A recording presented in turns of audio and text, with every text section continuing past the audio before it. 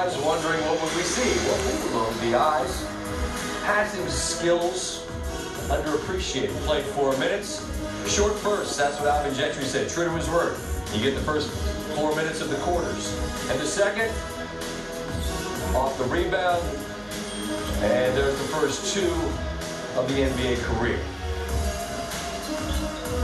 He's surrounded by much larger men, but speaking of larger men, 284 is the listed weight. Right? Okay?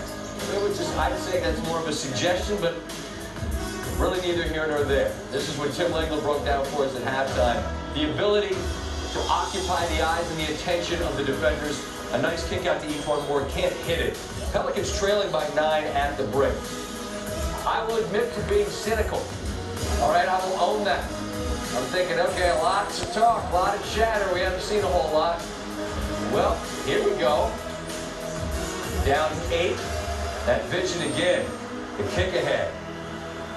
For the bucket. Again. Skies over. Hurdle. Assist to Moore. Lonzo. Zion. They're going to make you prove you can make that shot. All right, there's one. Down low, the athleticism, skying up to grab and finish. Over to Rosen. Suddenly it's a five-point game. Back to eight. Again, the Spurs are going to let you have that flat shot of yours. Three more. People starting to get excited. Even the cynical Van Pelt's like, what do we got here? Give it to him. Feed him. Fucking good. Three-point game. Building's on fire.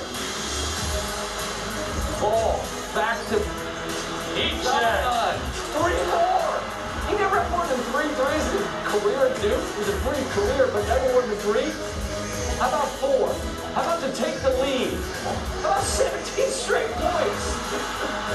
The going on? It's what everybody's waiting for in the building, across the country. But the Spurs, as Jeff Van Gundy correctly points out, the object is to win the game.